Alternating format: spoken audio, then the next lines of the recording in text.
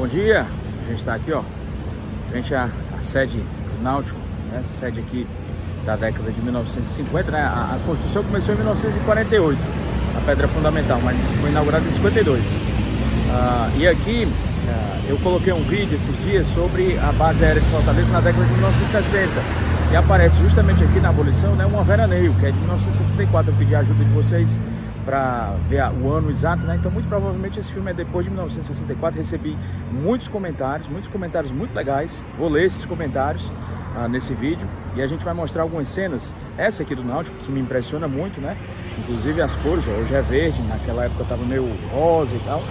E lá na, no F80, que eu chamei até errado de F16, o clube dos oficiais da aeronáutica, o F80 e a gente vai dar uma filmada lá perto para mostrar como era a Rui Barbosa, a subida da Rui Barbosa naquela época, 1964, 65 e hoje, 2023. Então, tá decorado aqui porque foi o Carnaval da Saudade ontem, né?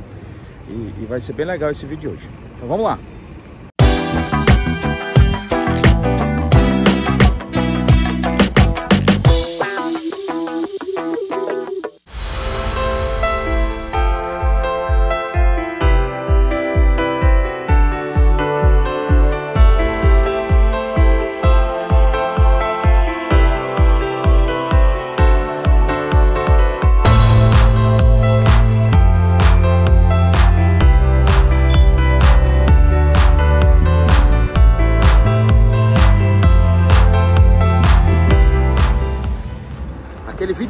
Da década de 1960 eu acho fantástico, né? acho muito, foi um achado sensacional. Agora a gente está subindo aqui a Avenida ah, Rui Barbosa, a gente foi da Beira-Mar, né? Vai subir a Rui Barbosa, justamente para mostrar aquele, aquele cruzamento em que fica a casa do comandante da base aérea. Inclusive o comandante da base aérea, ele é, comentou, né? O Tenente Coronel Aviador Lauro, agradeço muito o comentário dele, foi muito legal a divulgação dele também do vídeo, uh, foi muito legal. Uh, Patrícia também, que é minha colega otorrino, que é lá do, a, a, do Departamento do Grupamento de Saúde, lá da base aérea.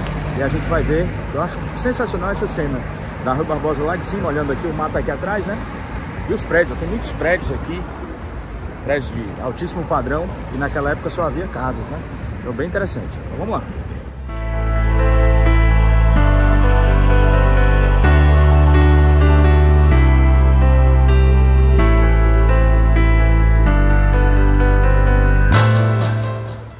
Aqui a gente subiu a Barbosa, né? E aqui, ó, é a casa do comandante da, da base aérea de Fortaleza. Né?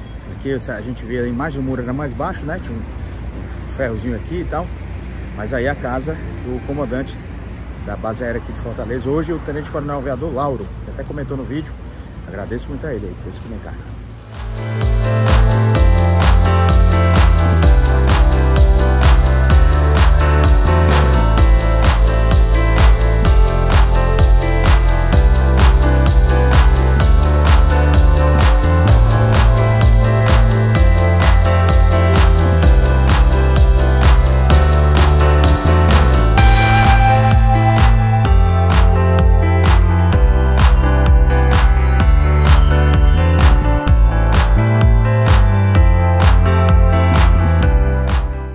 E com as ferramentas que a gente tem hoje disponíveis, por exemplo, aqui o Google uh, Maps, né? A gente pode ver, uh, mais ou menos está naquela esquina da, das avenidas Rui Barbosa com Moreira da Rocha.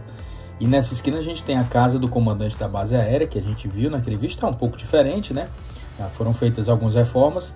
a gente vê essa casa aqui de esquina no vídeo, né? Que hoje é um prédio de alto padrão, com aquele flamboyant vermelho e a gente vê o mar lá no fundo, né? E vê essa rua aqui, a deputada Moreira da Rocha, que ainda era calçamentada, e vê um carro, muito provavelmente um Cinca, pelos comentários que foram feitos aqui, mais ou menos de frente ao clube, ao F80, que é o clube dos oficiais da aeronáutica.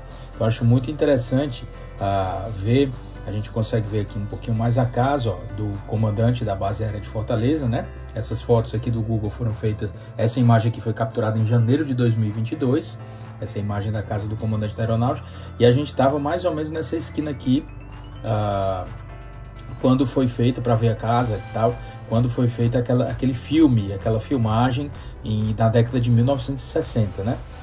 Muito legal, muito interessante.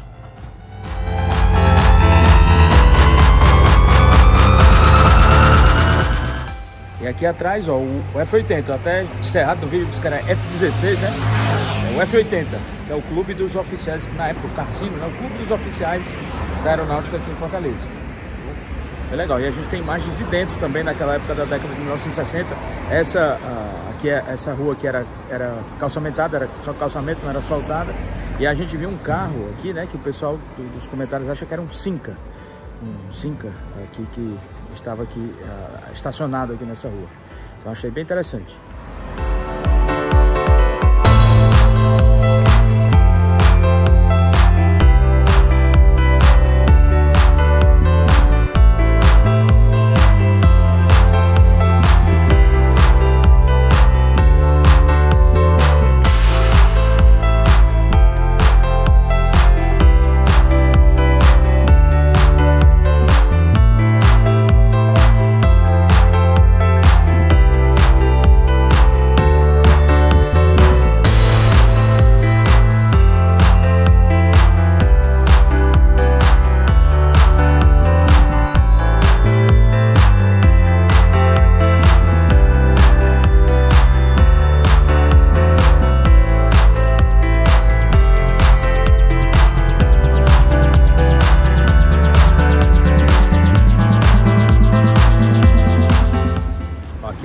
Ideal Clube, né? E aqui, ó, no muro do Ideal Clube, a gente tem noção de mais ou menos como eram os muros das casas da época. Tem até um vídeo do Ideal Clube de dentro, do interior, na visita que o Getúlio Vargas fez aqui em Fortaleza na década de 1940, foi feito um jantar aí, tava até o Mr. Hall presente no jantar e tal, várias autoridades na época, né? O interventor, o Menezes Pimentel e tal.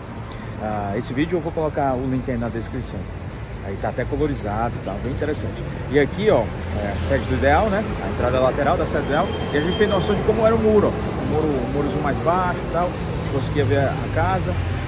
Foi bem interessante. E ah, foi filmado lá de cima, ah, onde é a casa do, do comandante da, da base aérea, que fica mais ou menos aqui, ó. Bem legal, né? E o mar tá aqui pra trás, ó. Filmar. Bem legal, né?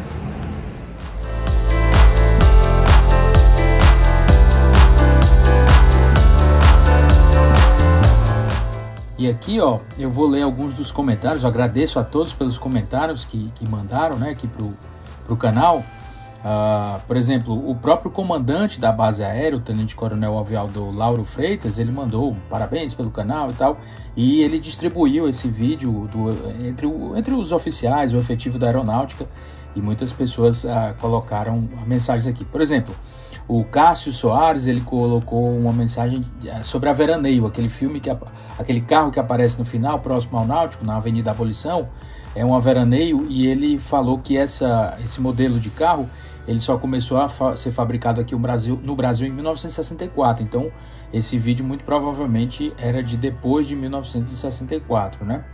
Uh, aqui o Regis Holanda, ele colocou um comentário bem legal também falando do, do, dos caças, né, os aviões que foram mostrados são os caças F-80 monoposto, ou seja, só de um piloto, e a versão de treinamento, que era o biposto, que era chamado de T-33, né, que é aquele modelo que tem que, que se encontra exposto na entrada da base aérea até hoje de Fortaleza. Eles serviram aqui no primeiro do quarto grupo da aviação, que era o famoso PACAL, entre 1956 e 1967. Então, esse vídeo deve ser entre 64 e 67, a gente já uh, afunilando a nossa, a nossa, a, o nosso trabalho de detetive, né? Então, uh, houve outros comentários também. Uh, o Evaldo Riolo também falou sobre o Lockheed, né, T-33A, que era esse, esse modelo que, que aparecia aí no vídeo, né, que foi ele falou que foi o mesmo modelo que se acidentou com um avião Piper a Azetec do Marechal Castelo Branco, né, que provocou até a morte do Marechal Castelo Branco, foi um desses, o Lockheed T-33A, que, que se chocou com um avião Piper que levava o presidente, o ex-presidente Humberto de Alencar Castelo Branco, né, cearense. Uh, o MC 041097, ele falou assim, show esse vídeo, teria três correções para enviar.